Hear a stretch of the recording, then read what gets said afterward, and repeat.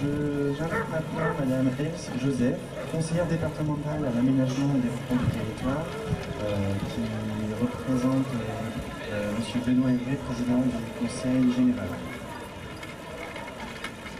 Messieurs, Mesdames les, élus, représentants de, l'université, je suis ravie de représenter ce matin le, président du conseil départemental qui voulait être présent et qui m'a confié cette, mission que j'accomplis avec un grand plaisir. Alors 20 ans, c'est- un bel âge, euh, c'est l'âge de, la jeunesse et de l'avenir qui s'ouvre euh, devant soi, mais c'est aussi l'âge de la volonté de, faire bouger les lignes mais c'est aussi euh, l'âge d'une expérience certaine acquise au cours de ces belles années. Alors un bon anniversaire déjà au DUT GACO.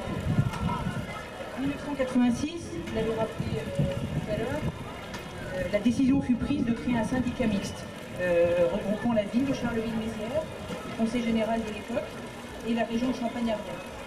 Avec un projet de création d'un pôle de haute technologie sur les terrains du Moulin et d'y regrouper des activités de recherche et d'enseignement supérieur susceptibles de contribuer au développement des technologies nouvelles dans le département. Et en 1995, les élus du département ont eu la volonté d'ouvrir une formation universitaire à Charleville-Mézières et le GACO est né. En 99, vous l'avez rappelé, le pôle s'étend avec l'installation de l'UFM, donc actuel SP, qui quitte les bâtiments de l'ex-école normale, l'école normale de l'époque, ex maintenant, euh, pour des nouveaux locaux donc, sur le Moulin Leblanc. Le site du Moulin Leblanc s'est aussi étoffé avec la construction du, euh, du gymnase par euh, le département, gymnase de l'ESP, et évolue vers une esquisse de campus. Donc c'est la volonté des élus de Charleville-Mézières, de son maire, Boris euh, Ravignon l'a rappelé tout à l'heure, et de l'agglomération, mais aussi celle du département, euh, d'aller dans cette démarche. Donc tout doit être mis en œuvre aujourd'hui pour faire de la zone euh, de technologie du Moulin Leblanc un véritable campus universitaire en renforçant les trois composantes de l'URCA déjà réunies sur le site, à savoir l'IFTS, l'IUT et l'ESP. La volonté du département est avec ce campus universitaire de proposer donc aux étudiants et aux enseignants les outils et les services qu'ils ont- qu'ils sont en droit d'attendre.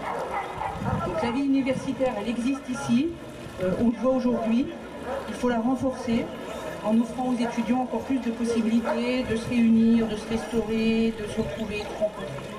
Je crois que la ville de Charleville-Mézières est dans cette démarche, puisque depuis un an, on a un conseiller municipal délégué Guillaume Maréchal, euh, qui est euh, délégué à la vie étudiante, donc ça, montre euh, la volonté de la ville d'aller dans ce sens.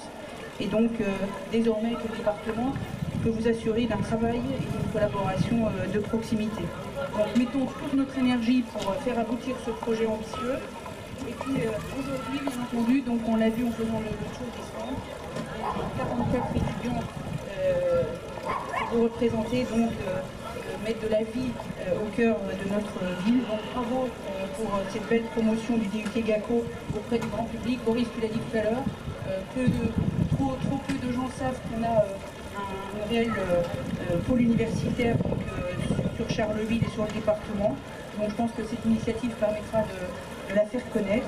Donc bravo aussi pour cette euh, euh, mise en pratique des connaissances que vous avez eues cette année donc à l'aide des projets tutorés. Et bien évidemment, donc, le conseil euh, départemental est, partenaire de cet événement, à la fois pour l'aspect projet éducatif et puis pour l'événement qui s'annonce haut en couleur demain. Donc, je, je vous engage à, venir euh, à participer, ou en tout cas à venir regarder demain à partir de 16h. Donc, bravo pour votre dynamisme, pour votre déter- détermination pardon, et cette belle animation.